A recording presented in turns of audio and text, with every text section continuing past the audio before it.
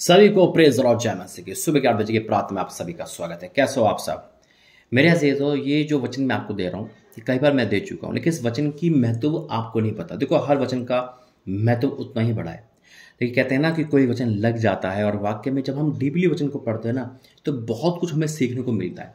हम सीखे कि परमेश्वर हमसे क्या कहना चाह रहा है? आपकी कंडीशन क्या है? ये मायने रखता मायने रखता कि परमेश्वर हमारा बड़ा है। हाल हमारी समस्या हमारे लिए बड़ी हो सकती है। लेकिन मेरा परमेश्वर के लिए हर समस्या उसके पैरों के नीचे, यीशु मसीह के नाम है बोला मीन आइए प्रार्थना करेंगे। धन्यवाद करते हैं पिता परमेश्वर। आज का वचन प्रार्थना संदेश तेरे बेटा बेटों के लिए, तेरी प्रजा के लिए छुटकारे के कारण हो।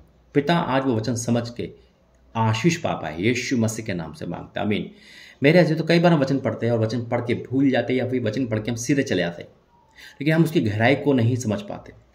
जब हम वचन की गहराई को समझ लेंगे, वचन के महत्व को समझ लेंगे तो यकीन मानना हमारी लाइफ में से सारा अंधकार दूर हो जाएगा। आज आप डेली किसी प्रार्थना कर रहे हो, किसी चीज़ को वो नहीं सुन रहा परमेश्वर। या परमेश्वर को कह भी दिया कि बेटा तेरी लाइफ में नहीं है ये, है ना? जो निसंतान हो, मान लो आपको, संतान नहीं मिल रही, है ना? शादी नहीं हो रही, या कोई भी ऐसी समस्या है, लेकिन विश्वास करो मेरा परमेश्वर अपनी इच्छा बदल देता है जब हम प्रार्थना करते हैं। परमेश्वर जो कह रहा ना आज, उसको बिलीव करो कि अगर मेरी लाइफ में नहीं है तो मैं परमेश्वर ले सकती हूँ, ले सकता हूँ, अगर मैं प्रार्थना करूँ। परमेश्वर, तेरी इच्छा है तो दे, है ना? परमेश्वर ने अपनी इच्छा प्रकट करता है। हिचकिया के लाइफ में भी मौत थी। परमेश्वर ने कहा था डिग्लेर कहा था, है ना? लेकिन जब वो प्रार्थना करा, रो रो के प्रार्थना करी तो परमेश्वर ने उसकी अपनी इच्छा बदल के उसको जीवन दान दे दिया। हाल लोहिया परमेश्वर जब कहता है, हम, मैं तुझे नहीं दे रहा तो वो दे भी सकता है। हमें बस लेना आना चाहिए। यही है। आपकी कंडीशन क्या है? ये मायने नहीं रखता मैं फिर कह रहा हूँ, क्योंकि हमारा परमेश्वर बड़ा है। आज हो सकते हो कि आपकी कंडीशन बहुत ज़्यादा दुख है दुख है। ये आप जानते, मैं भी जानता हूँ, हमारे लिए बड़ी है, लेकिन परमेश्वर के लिए कोई मायने नहीं रखता कि वो एक झटके में बदलने वाला है। आज वही समय है। आइए प्रार्थना करेंगे वचन के लिए। धन्यवाद करते हैं पिता।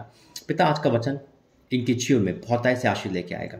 सोगना प्रतिफल के साथ है मेरे बोलने में तेरा पैरा हो। यीशु के सामर्थ्य नाम से, आमीन। निकालेंगे वचन। विलाप के तीन का बाईस में लिखा है हम मिट नहीं गए, क्या बात है? पहला पॉइंट क्या, हम मिट नहीं गए। और वाक्य में यह हकीकत है, हम मिट नहीं गए ये यह हुआ कि महाकरुणा का फल है, ये हमारी हमारी मेहनत नहीं है, हमें जिम जाना नहीं है। कि हम सोचते हम जिम जाएँगे, हम अच्छे डाइट खाएँगे तो हम बच जाएँगे। नहीं, ये परमेश्वर कहता है उसकी करुणा है जो हम मर नहीं गए। आज बीमारियाँ घर से चली जाती है। आज करोना चला गया कितने सारी ये होता है, हम बीमार पड़ते हैं। बीमारी आती है, लेकिन वो चली जाती है। हाल और जीत परमेश्वर देता है हमें। यहाँ लिखा है, हम मिट नहीं गए, ये हुआ कि महाकरुणा का फल है।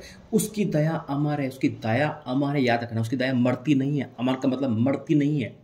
हाल क्या बात है मेरा परमेश्वर मेरे साथ है इस समय। उसकी दया मरती नहीं वो अमर है। उसकी दया को मांगो, परमेश्वर दया करने वाला है। लिखा है, उसकी दया अमर है। पड़ती भोर, वे नहीं होती रहती। है तेरी सच्चाई मान है। अरे, परमेश्वर दया मांगो। अगर गुना खता भी करा है आपने तो क्षमा मांगो। मेरा परमेश्वर क्षमा करने वाला है। आइए प्रार्थना करेंगे। हाँ मेरे परमेश्वर, मैं आपका धन्यवाद करता हूँ। हाँ मेरा परमेश्वर, आपकी दया अमर है। हाँ मेरे परमेश्वर, आपकी दया हम पर हो। आज हो सकता है कि हमने आपको क्रीज दिलाई हो, हमने आपको क्रोध दिलाया, हमने अपने पापों के कारण आपको दोबारा से सूर्य लाया लेकिन परमेश्वर, तेरी दया अमर है। पिता, उस लहू के द्वारा हमें क्षमा कर। आज हो सकता है मेरे पाप के कारण, बीमारी घर में हो, कर्जा घर में हो लड़ाई झगड़ा घर में हो, शैतान घर में हो, लेकिन हमें क्षमा कर। पिता, हम तेरा धन्यवाद करते कि तूने हमें दुख मुसीबत से बचाया है। और हमें सहने की भी शक्ति इसके लिए धन्यवाद करते हैं।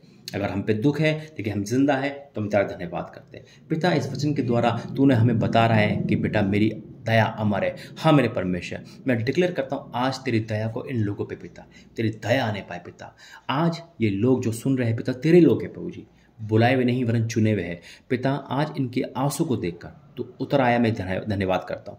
और आज से पिता ये लोग बदल चुके हैं। इनके लाइफ में जो आँसू थे वो हट चुके हैं, और ये आशीष हो चुके हैं, क्योंकि आपकी दया हमारे प्रति वो नहीं होती है। पिता, आपने इनको ब्लेस किया, इनके दुखों को दूर किया, मैं तेरा धन्यवाद करता हूँ। हाँ और आमिन के साथ मांगते हैं। यीशु का सामर्थ्य नाम है आमीन। परमेश्वर के वचन को पढ़ो, उसे समझो कि परमेश्वर कितनी गहरी बात बताता है। गॉड ब्लेस यू प्रभु आपको बहुत ताया से आशित है जय मसीह की।